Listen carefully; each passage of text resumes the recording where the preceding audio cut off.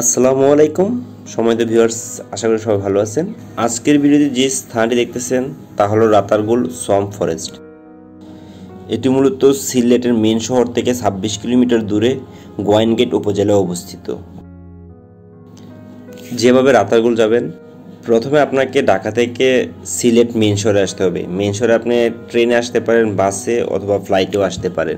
আর যারা চট্টগ্রাম থেকে আসবেন, চট্টগ্রাম থেকে বাসে অথবা ট্রেনে দুভাবে আসতে পারেন। সিলেট থেকে কীভাবে রাতারগুল যাবেন? সিলেট থেকে রাতারগুল দুভাবে যাওয়া যায়। প্রথম পথ হলো সিলেট শহরের পাশে খাদিম চা বাগান।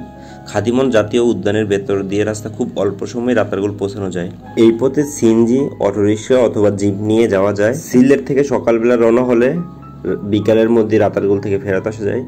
তাই আপনি সিনজি বা অটোরিক্সা সারাদিনের জন্য ভাড়া নিতে পারেন, যা বারোশো থেকে পনেরোশো টাকার মতো নিবে। আর যদি সারাদিনের জন্য সিঞ্জি ভাড়া নেন তাহলে ওই সিঞ্জি দিয়ে আপনার বিছানাকান্দি থেকে ঘুরে আসতে পারবেন। রাতারগুল ঘোরার জন্য আপনার মূলত দরকার হবে নৌকা। আর নৌকা ভাড়াটা আপনার পড়বে সাতশো থেকে আটশোশো টাকার মতো। আর এক একটি নৌকাতে পাঁচ থেকে ছয় জনের মতো ওঠা যায়।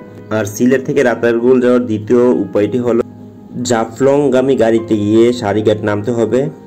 সিলেট শহর থেকে সারিঘাট আসতে আপনার লোকাল ভাড়া চল্লিশ থেকে পঞ্চাশ টাকার মতো লাগবে। তারপর সারিঘাট হতে আপনি সিএনজি করে গুনাইঘাট বাজারে আসবেন আর গুনাইঘাট বাজার থেকে আপনার নৌকা করে রাতারগুল যেতে পারবেন। চলুন এখন রাতারগুল সম্পর্কে একটু জেনে নেই।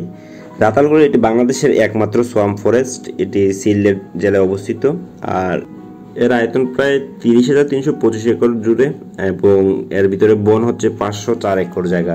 আর বাকি অংশটুকু জলাশয়। তবে বর্ষাকালে পুরো বনটিকে জলাশয় মনে হয়। অনেকে একে সিলেটে সুন্দরবন বলেও আখ্যা দেন। এটি মূলত দেখতে সবচেয়ে বেশি সুন্দর বর্ষাকালে রাতারগুল ভ্রমণে আপনার যে সাবধানতা অবলম্বন করতে হবে তা হলো বর্ষায় আপনার পুরো বন পানি নিচে ডুবে যাওয়ার কারণে বিষাক্ত সাপ গাছে ডালে থাকে। এছাড়াও রয়েছে প্রচুর জোকের উপদ্রব। আপনি যদি সাঁতার না জানেন, অবশ্যই লাইফ জ্যাকেট পরে থাকবেন। আর সাথে অবশ্যই আপনার ছাতা এবং রেইনকোট রাখবেন। কারণ যে কোনো সময় আপনার বৃষ্টি হতে পারে আর প্রচুর পরিমাণে বৃষ্টিপাত হয়।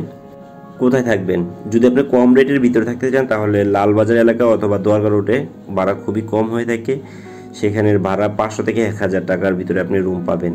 আর ভালো সার্ভিসের হোটেলগুলোর ভিতরে রয়েছে Holy Inn Holy Gate Hotel Metro International Britannia Hostel এবং পানসি ইন, এছাড়াও আরও অনেকগুলো হোস্টেল রয়েছে, যেগুলো ভাড়া হচ্ছে দুই থেকে দশ হাজার টাকার ভিতরে। এছাড়াও রয়েছে লাক্সারি হোটেল অ্যান্ড রেস্টুরেন্ট, যেগুলো ভাড়া পড়বে আট থেকে তিরিশ হাজার ভিতরে। আর সেগুলোর নাম হচ্ছে Nirvana Inn, Hotel Nurjahan Grand. এছাড়াও আরও অনেকগুলো আছে, আপনারা ওইগুলা সিলেট গেলে আপনি রাতারগুল ছাড়াও যে স্থানগুলো দেখতে পারবেন, তা হলো বিছানাকান্দি, জাফলং, লুবাছাড়া, লালাখাল এবং হরজ শাহজালাল এবং শাহপুরান রাজি আল্লাহ তাল্লার মাজার। আর ভিডিওটি কীরকম লাগছে অবশ্যই ছোট্ট একটি কমেন্টসের মাধ্যমে জানাবেন। আজকে এ পর্যন্ত সবাই ভালো থাকবেন। আল্লাহ হাফেজ।